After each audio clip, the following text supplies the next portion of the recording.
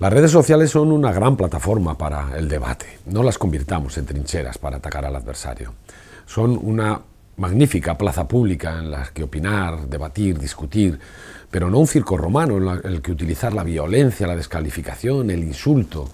Yo creo que libertad, verdad y respeto son los principios que tenemos que utilizar a la hora de participar en las redes sociales. Y en este proceso de primarias debiéramos de dar un ejemplo de democracia, de madurez y de respeto a la hora también de participar en las redes.